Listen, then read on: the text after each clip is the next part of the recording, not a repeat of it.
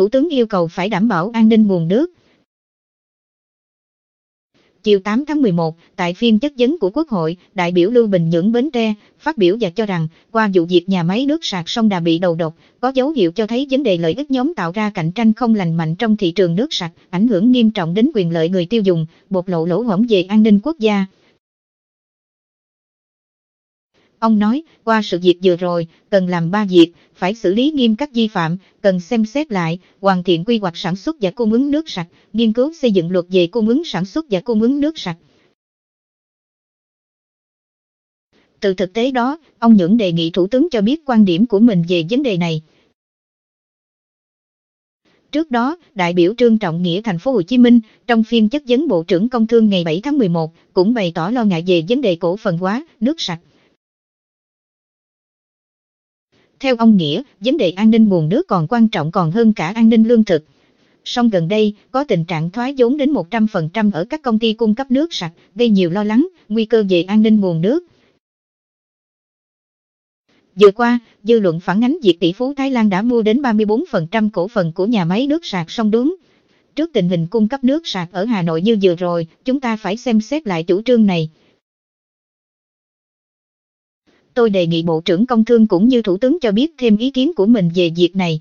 Tôi rất khẩn thiết đề nghị xem xét lại không nên thoái vốn hoặc nhà nước phải nắm cổ phần chi phối tại các đơn vị này, ông Nghĩa đề nghị.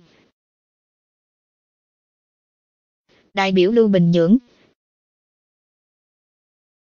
Trả lời câu hỏi về nước sạch của đại biểu Nghĩa và đại biểu Nhưỡng, Thủ tướng nhấn mạnh, ông đã yêu cầu các cấp, các ngành thực hiện đúng quy định luật tài nguyên nước năm 2012, trong đó phải làm tốt hơn nữa công tác quy hoạch, quản lý chặt chẽ, đảm bảo an ninh nguồn nước, tránh tình trạng như vừa qua.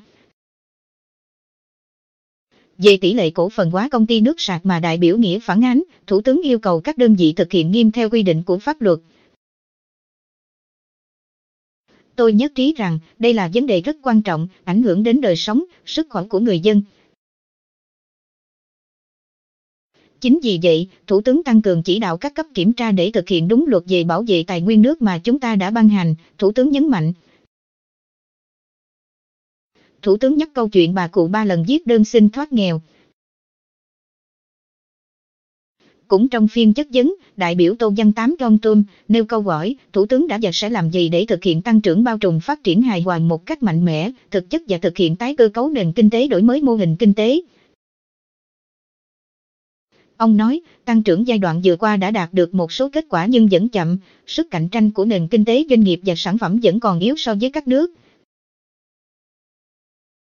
Chúng ta có rất ít những doanh nghiệp lớn có khả năng cạnh tranh quốc tế và Thủ tướng còn hơn một năm nữa trong nhiệm kỳ này, vậy Thủ tướng dự kiến có giải pháp đột phá gì để cải thiện thực trạng trên, ông Tám nêu câu hỏi. Trả lời câu hỏi này, Thủ tướng Nguyễn Xuân Phúc nhấn mạnh mô hình tăng trưởng của Việt Nam coi trọng sự bình đẳng tiếp cận các cơ hội để mọi người dân thụ hưởng thành quả tăng trưởng, không để ai bỏ lại phía sau.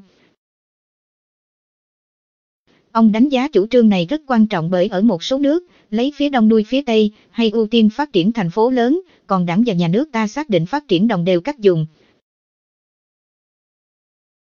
Thủ tướng cho biết vui mừng về sự phát triển các vùng sâu, vùng xa, đời sống của người dân từng bước được cải thiện. Ông nêu rõ, chính phủ đã trình Quốc hội đề án phát triển vùng đồng bào dân tộc. Chương trình mục tiêu quốc gia sắp được Quốc hội cho ý kiến, từ đó thực hiện chủ trương phát triển bao trùm. Chính phủ cũng tạo mọi điều kiện, cơ hội cho mọi người, nhất là người nông thôn miền núi cải thiện thu nhập, Thủ tướng cũng nhắc đến những nỗ lực và thành tựu trong giảm nghèo, củng cố mạng lưới an sinh xã hội, xây dựng hệ thống bảo trợ xã hội hiện đại, thu hẹp bất bình đẳng.